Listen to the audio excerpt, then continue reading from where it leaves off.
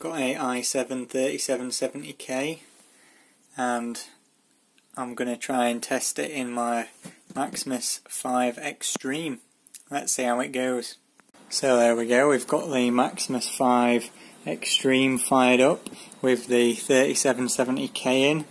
Like I said, I hadn't had one of these since 2014, so it's been quite a while, but I've had plenty of 2500Ks, 2600Ks and X79 chips. Uh, I haven't actually used this board very much either. I uh, used to use a UD5H a lot, gigabyte board. Let's get into it I guess. It's got water cooling on it, so got a decent chance of uh, getting some decent settings on it I guess. The auto overclock looks like it goes up to 4.6 and uh, we'll go with a manual. Obviously we're going to keep the base clock um, as it is and we'll probably start at 44 and uh, not sure about the other settings. We'll set the memory off at 2133 That's for Super Pi. Don't know what that does. That was in the uh, other BIOSes back in the day as well. Uh, we'll go with 812.8 to start with.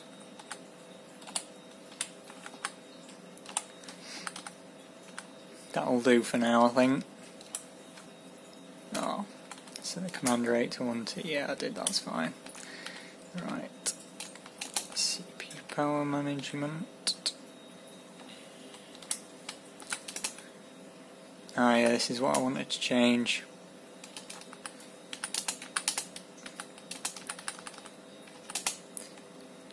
Go full power. Don't want to be holding back when water cooling.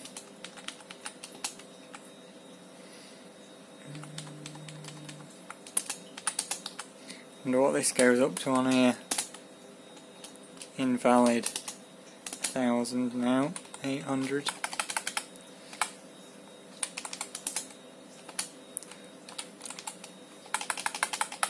Must go up to 500 surely. Yeah, 500 is the max, so we'll leave it on that for now. See what we've got for voltages. CPU manual voltage, we'll start 1.35 and see how that goes.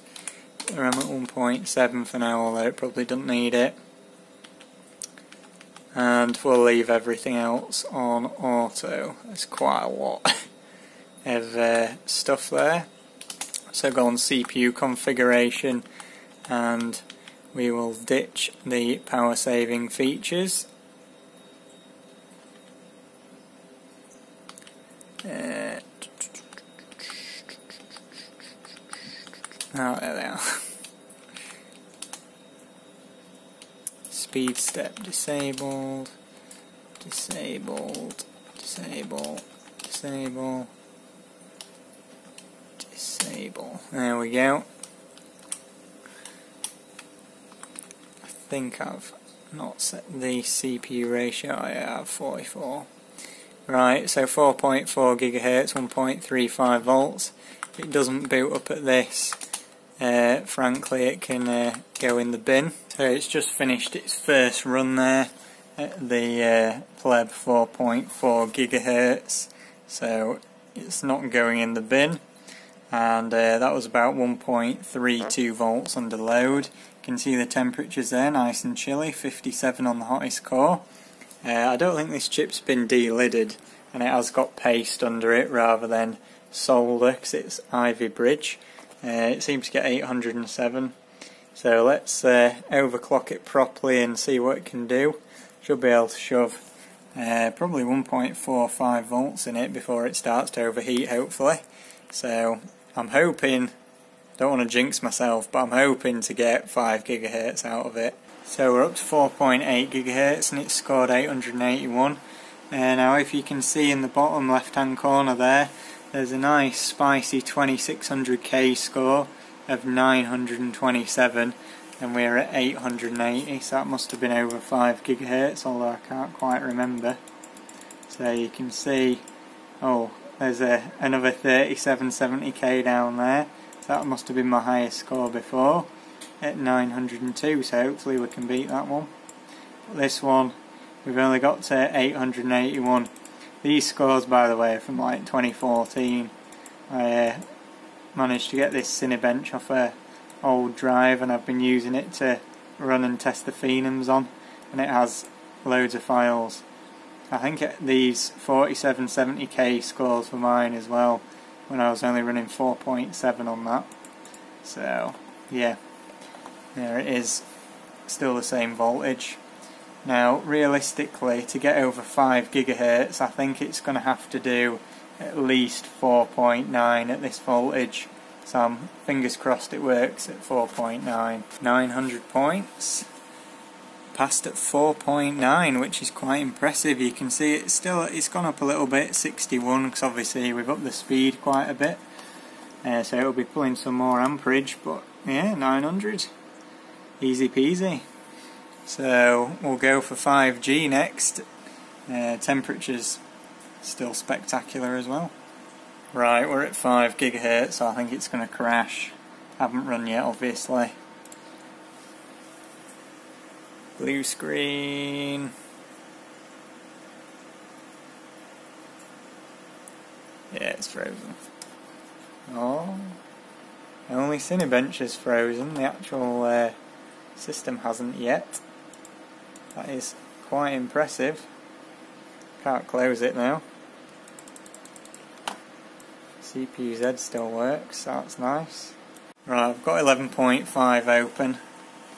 Didn't, it's not blue screened yet, so I'm hoping if it is going to blue screen it'll do a courteous job and blue screen on me here. No, it didn't. So it is, it's right on the edge. Come on, blue screen on me. Now, Application error. How rude.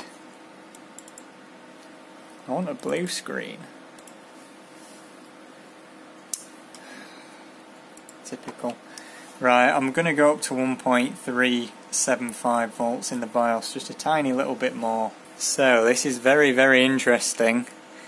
Uh, it's at 5 gigahertz on 1.43 volts with only high LLC, which means it has a lot of droop, but I've got it to run uh, R15 and I've done that by dropping the PLL voltage which I'll show you in the BIOS in a second but I need to save this score because it's the highest one I've got so far. So what I did was I went up to 1.45 volts or 1.475 volts I think with the LLC on ultra high and it was basically just blue screening and blue screening and getting application errors. So I can't remember whether it was this or Sandy Bridge that you had to lower the PLL volts to get a few extra megahertz. So I put it at 49 on the multiplier and 101ish on the base clock to get uh, 4950 and I lowered the PLL to 1.7 volts and that passed. So I've just tried 5 gigahertz and it's actually worked. So that's interesting. So these are the settings here I'm using in the BIOS. So you can see we've got 5 gigahertz set. The memory, you can see it's a bit like unresponsive and weird, but it does work. So the memory is just at 711, 724, whatever. I haven't really set anything else. But you can see 1.435. Um, only high on the load line calibration. And there's the PLL add, it's set to 1.66, so I'm going to drop it to 1.6625. But it does get a bit stuttery um, or laggy when you drop the PLL and it gets worse the lower you go. So I guess eventually it will get so slow that the CPU doesn't work anymore. See if it will boot. I've dropped it a little bit again. Oh no. Instant blue screens, that might be too low.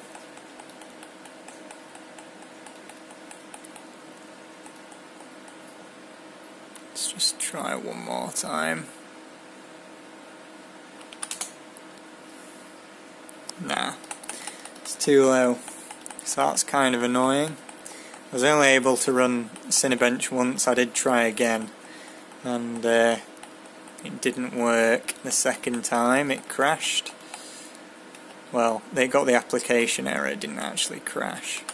So it looks like 1.67, 1.66 is the kind of area where it actually works. It's very, very picky. Even 1.68 didn't work. So I'm going to do, if it makes it into Windows, is I'm going to run it in real time straight away. See if it boots. Yeah, you can see it like lagging a bit. And the wheel stops a couple of times as well, so that's that's the difference that tiny little bit of voltage makes. It's the difference between it getting into Windows and it not.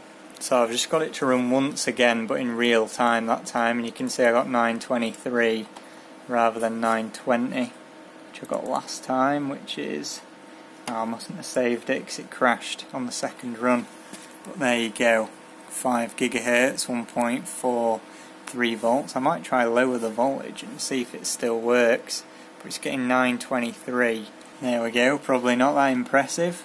That's 5.1 gigahertz booted at 1.45 volts. Uh, I'm not sure we're going to be able to run anything whatsoever, but I'm going to try and run single thread and see what happens. Oh. That's what happens.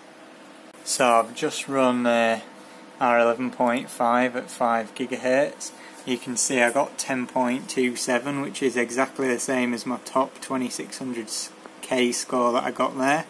And uh, before it looks like I got 9.97 so that's a decent increase. Uh, it ran pretty well. I actually just ran it twice straight off on in real time and uh, it worked fine so.